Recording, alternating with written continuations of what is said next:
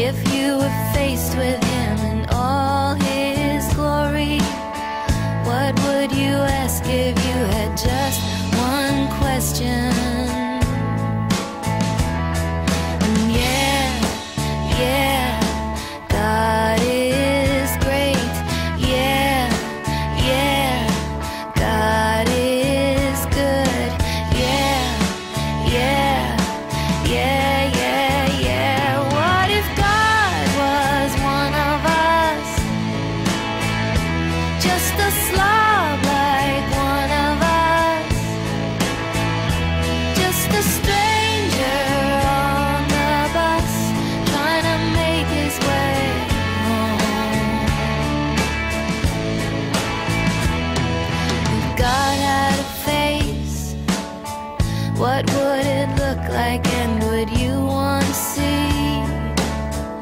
If seeing meant that you would have to believe